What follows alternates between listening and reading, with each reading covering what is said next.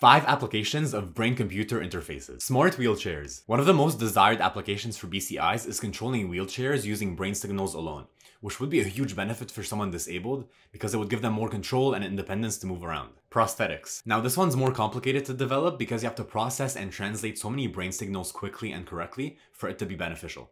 But I think we can get there with more brain signal data, which will help us build better translation algorithms. Smart appliances. Things like controlling the room temperature, turning off the lights, or controlling the TV might not sound that important, but if you're physically unable to do these things and need someone to help you, then it can get frustrating.